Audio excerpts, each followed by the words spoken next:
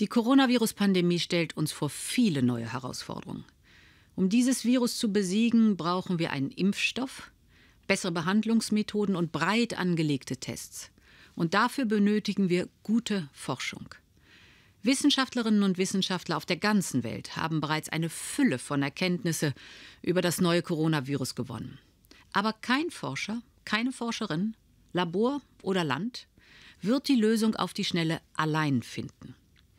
Und deshalb wollen wir den Wissenschaftlern und Wissenschaftlerinnen helfen, auf Daten der Kolleginnen und Kollegen zuzugreifen und eigene mit anderen zu teilen, über Fachdisziplinen, Gesundheitssysteme und über Grenzen hinweg. Dafür starten wir heute die EU-Datenplattform Covid-19. Dank dieser Datenbank werden Forscherinnen und Forscher in der Lage sein, viel neues Wissen über das Coronavirus zentral zu speichern, auszutauschen und zu analysieren, von Erkenntnissen auf dem Feld der Genetik bis hin zur Mikroskopie oder klinischen Daten.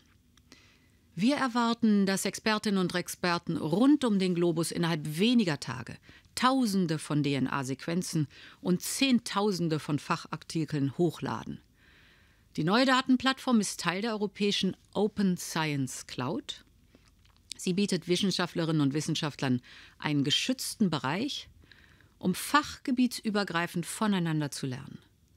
So hilft die europäische Cloud der Wissenschaft, noch in drängenden Forschungsfragen besser und schneller voranzukommen. Ich habe den allergrößten Respekt für all diejenigen, die ihre Tage und oft auch Nächte zum Wohle aller in Labors verbringen. Und ich möchte alle Forscherinnen und Forscher einladen, unser Angebot anzunehmen und die europäische Datenplattform ausgiebig für ihre Arbeit zu nutzen.